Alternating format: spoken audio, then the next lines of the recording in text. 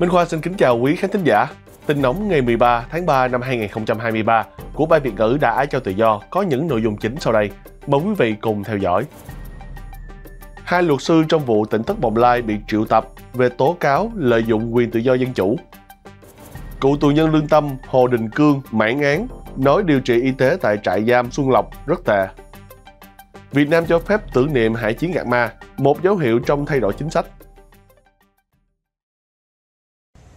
Hai luật sư Đặng Đình Mạnh và Đào Kim Lân tham gia bảo chữa trong vụ án Tịnh Thất Bồng Lai bị Công an tỉnh Long An gửi giấy triệu tập mục đích để làm việc về tin báo tội phạm của Cục An ninh mạng và Phòng chống tội phạm sử dụng công nghệ cao, Bộ Công an, rằng một số luật sư trợ giúp pháp lý cho Tịnh Thất Bồng Lai, tức Thiền Nam bên bờ vũ trụ, có dấu hiệu vi phạm điều 331 của Bộ luật hình sự.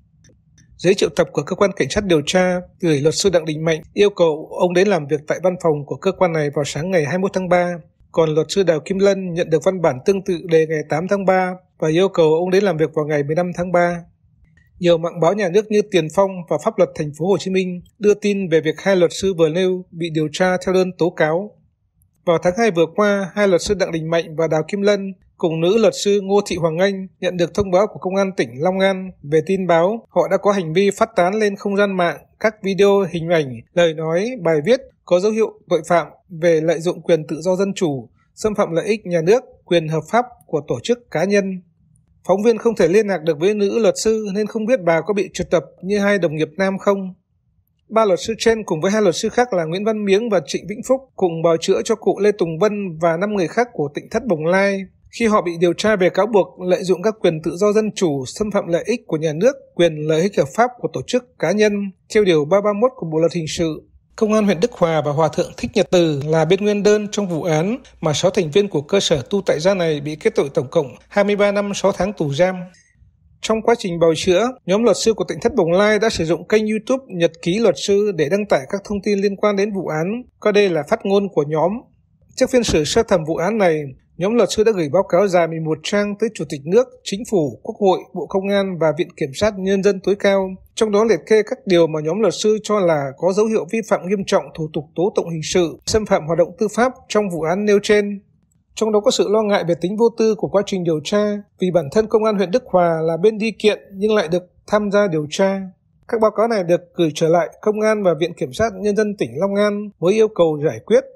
Ngày 28 tháng 2, luật sư Đào Kim Lân gửi đơn kêu cứu khẩn cấp đến Liên đoàn Luật sư Việt Nam và một tuần sau, Liên đoàn có công văn đề nghị Công an và Viện Kiểm sát tỉnh Long An thận trọng trong việc giải quyết đơn tố cáo của luật sư Tịnh Thất Bồng Lai có dấu hiệu vi phạm lợi dụng quyền tự do dân chủ.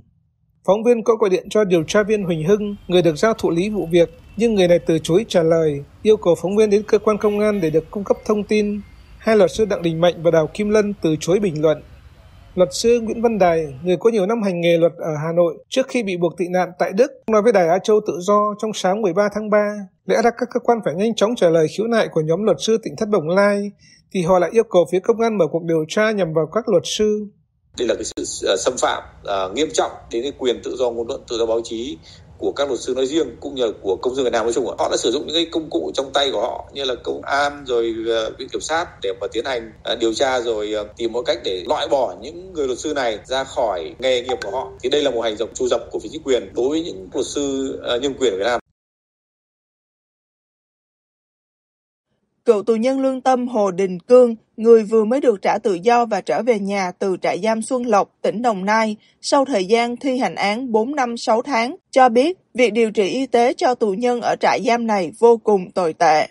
Ông Cương, thành viên thứ tư của nhóm Hiến pháp, nói với Đài Á Châu Tự Do trong sáng thứ Hai 13 tháng 3 như sau. Mà khi đã bệnh ở trong đó rồi á, thì rất khó mà chữa trị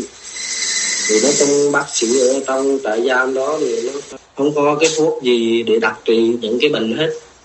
Điển hình là giống như vừa rồi là anh phạm chí dũng, anh bị ói ra máu, không được đưa đi bệnh viện để khám, chữa trị. Chỉ qua bệnh xá, rồi cho thuốc giảm đau, thuốc cầm máu, một thời gian rồi anh về. Anh chỉ ờ, nhai thuốc lá để cho đỡ bệnh thôi.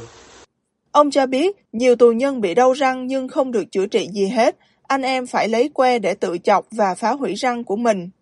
Ông Cương, người bị bắt vào đầu tháng 9 năm 2018 với cáo buộc gây rối an ninh theo Điều 118 của Bộ Luật Hình sự, cùng với 7 thành viên khác của nhóm hiến pháp, cho biết thêm cuộc sống trong trại giam Xuân Lộc rất khổ cực.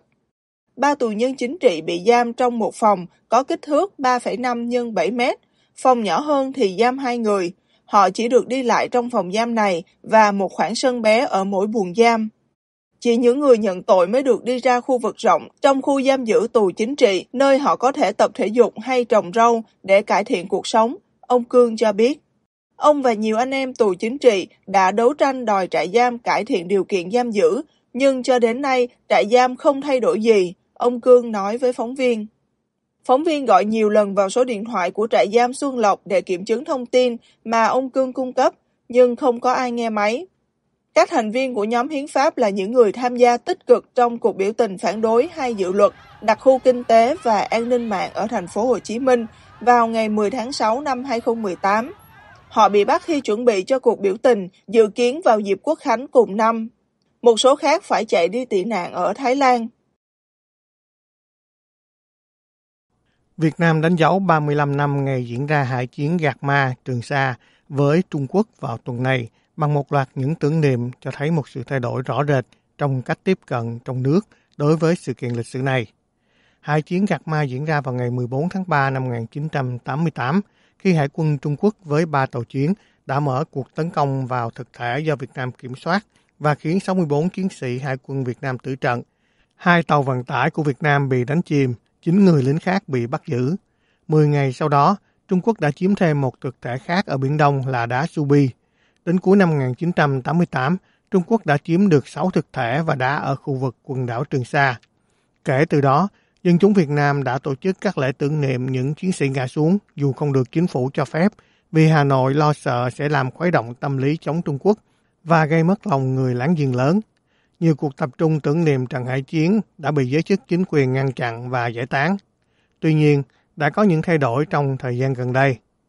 Báo chí nhà nước trong nhiều năm tránh sử dụng từ Trung Quốc trong các bài viết về sự kiện, giờ đây đã sử dụng chữ này một cách thoải mái hơn. Báo Việt Nam Net trong bài xã luận hôm 12 tháng 3 đã viết, Trung Quốc đã có nhiều hành động ngang ngược, vi phạm chủ quyền của Việt Nam tại quần đảo Trường Sa. Trong cùng ngày, một lễ tưởng niệm lớn đã được tổ chức ở thành phố Đà Nẵng, một trong những cảng biển quan trọng của Việt Nam. Trang tin của Đài Tiếng Nói Việt Nam VOV cũng dành trang chính để viết về lễ tưởng niệm. Một sĩ quan Hải quân Việt Nam nói với Đại Châu Tự Do trong điều kiện giấu tên rằng, mọi người cần phải tỉnh táo trong việc đối xử với Trung Quốc và mục tiêu chính là đạt được Bộ Quy tắc về ứng xử trên Biển Đông COC và điều này hiện vẫn còn xa vời.